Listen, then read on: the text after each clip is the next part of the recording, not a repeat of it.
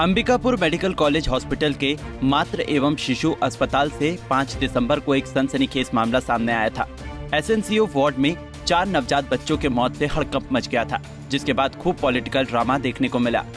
एक तरफ़ परिजन अपने बच्चों की मौत को लेकर सदमे में थे, वहीं अस्पताल राजनीति का अखाड़ा बना हुआ था। परिजनों ने हॉस्पिटल प्रबंधक पर गंभीर आरोप लगाए हैं।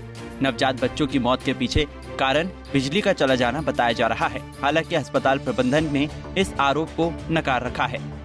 परिजनों ने अंबिकापुर कलेक्ट्रेट पहुंचकर जनदर्शन में आवेदन देकर कार्रवाई की मांग की है।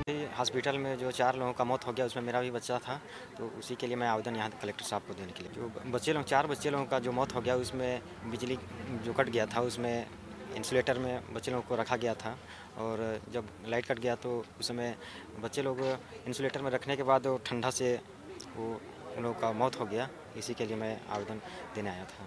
बिजली आधा एक घंटा से ज़्यादा लाइट कट गया था। इसी की वजह से वो हो बस वही लाइट कटने के बाद वो सब हो गया था। और कितने बच्चे लोगों को बच, जो बड़े बच्चे लोग थे उन लोग का उन लोग बच गए और जो छोटे बच्चे लोग थे उन लोग उन लोग का ही बस वो मैं कलेक्ट्रेट में आया हूँ सरगुजा में और मैं चाहता हूँ कि कार्यवाही हो। बिजली कटने के बाद। मैं भी वहीं पे सो रहा था तो लाइट उठ सब इधर। दरअसल ये सारा मामला 5 दिसंबर का है।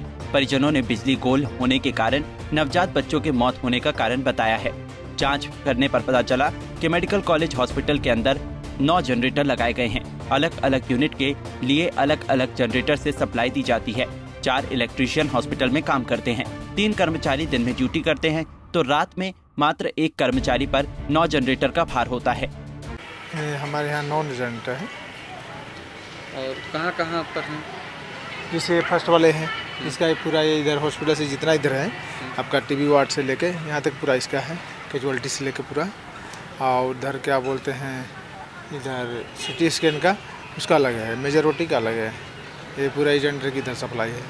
बेलोलॉजी का है तो खाली बेलोलॉजी में रहता है। और आपका ये सीताराम वार्ड में है ऑक्सीजन प्लांट वो ऑक्सीजन प्लांट के लिए है। और ये एमसीएच में है तो उसका एमसीएच में है। जो ठोर जनरेटर वहाँ पर है जनरेटर वो ओटी के लिए सिर्फ़ ओटी के लिए है। और उधर एक ठोर नक्कीपुरिया में है वो ऑक्सीजन प्लांट के लिए है। और ये ये क्या बोलते हैं पीएमसी के सामने है वो पीएमसी के लिए है। आ, आपको पता होगा दो दिन पहले जनरेटर ख़राब हुआ था रात को। जनरेटर ख़राब नहीं हुआ है। आ, कुछ प्रॉब्लम आया था लाइट गोल हुआ था कुछ। हाँ लाइट बहुत नाइट में थे हमें नहीं था। नाइट में रमेश भैया थे। इधर नवजात बच्चों के मौत के बाद मेडिकल कॉलेज की टीम ने कई निर्देश जारी किए हैं। हॉस्पिटल में सुधार करने की बात तो ज़रूर कह रहे हैं, लेकिन चार नवजात बच्चों की मौत पर अब भी मेडिकल कॉलेज कुछ भी कहने से बच रहा है। पाँच तारीख को प्रातः साढ़े पाँच बजे से लेकर साढ़े आठ बजे तीन घंटे की अवधि में चार नवजात शिशुओं की मृत्यु एक दुखद घटनाक्रम है और इसमें विद्युत प्रवाह क्यों अवरोधित हुआ, बाधित हुआ उसमें जो ऑटोमेटिक काम नहीं करने की बात और मैनुअल के चलने की बात हो रही है, उस हेतु भी प्रयास किए गए हैं। वो कुछ उपकरण विदेश से आने के हैं, इसीलिए वह थोड़ा आधार में लटका है।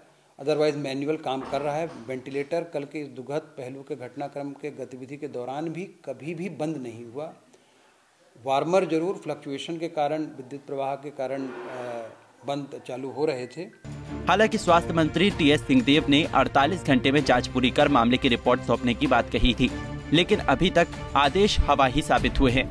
लिहाजा बिलासपुर से आए डॉक्टरों की टीम ने जाँच पूरी कर ली है और देखना होगा कि किस पर काज करती है। अंबिकापुर से पंजाब केसरी के लिए प्रशांत कुमार यादव की रिपोर्ट। हमसे जुड़े रहने के लिए हमारे YouTube चैनल को सब्सक्राइब करें और नई वीडियो की नोटिफिकेशन के लिए बेल आइकॉन को दबाएँ। अगर आप ये वीडियो Facebook पर देख रहे हैं तो लाइक ज़रूर करें और ज़्यादा से ज़्यादा शेयर करें धन्यवाद